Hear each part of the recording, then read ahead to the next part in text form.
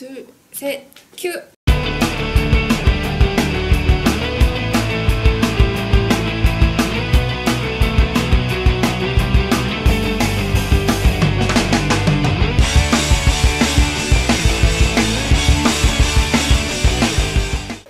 안녕하세요. 성북구 주민 김선정입니다. 아이가 셋이다 보니 저는 자연히 교육에 관심이 많은데요. 우리 주변에는 온갖 유명한 교육 프로그램이 참 많이 있습니다. 오늘은 와보숑과 함께 발도로프 교육에 대해 소개해 드리겠습니다.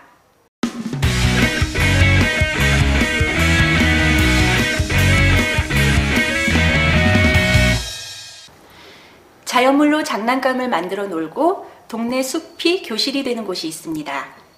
성적으로 줄 세우는 무한 경쟁과는 거리가 멀어 보이는데요. 이곳에는 세상의 변화에 당황하지 않고 스스로 생각하고 행동하는 자유가 있습니다.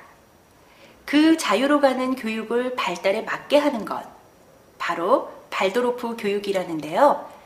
자유롭게 자신의 책임을 다할 수 있는 사람이 되는 것이 교육의 목적이라니 저도 그런 사람이 되고 싶어지네요. 성북구의 발도로프 교육을 실현하는 사람들이 있습니다. 함께 만나보실까요? 빨래해요 빨래해요. 빨래 보여주세요 신발 보여주세요 부지런한 빨래 보세요 빨래 짜요 빨래 짜요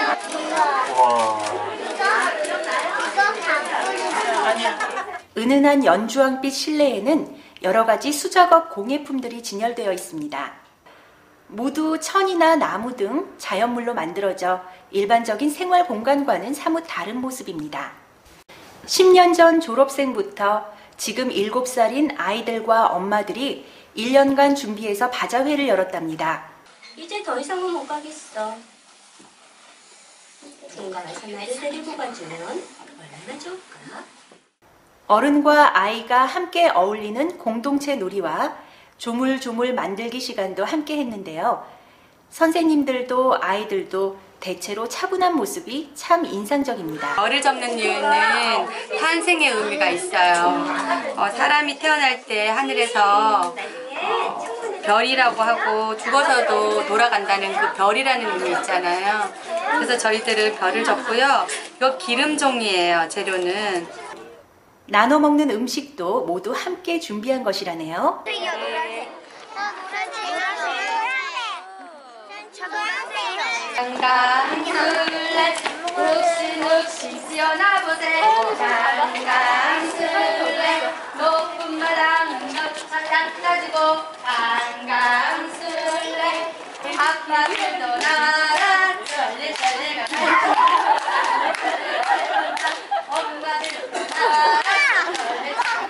서로 마주 웃고 손을 잡아주고 안아주는 모습이 자연스러워 부럽기도 하고 저절로 미소가 떠오릅니다. 안녕하세요. 여기는 바람 아래 어린이집입니다. 저희가 음, 2년 준비해서 오늘 바자회를 열었습니다.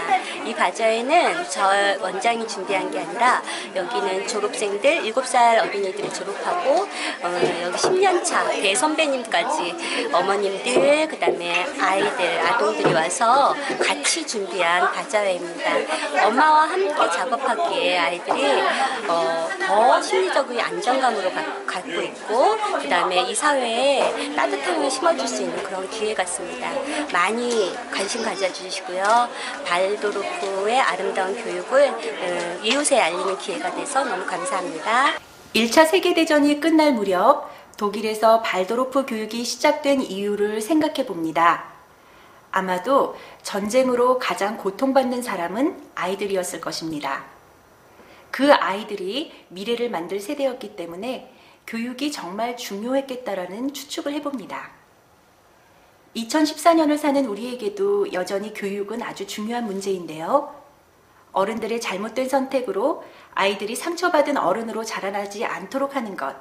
그 이상 좋은 교육이 있을까요? 자기 자신과 타인, 그리고 자연과 함께 살아갈 수 있는 바른 선택을 하는 교육이 절실한 요즘입니다.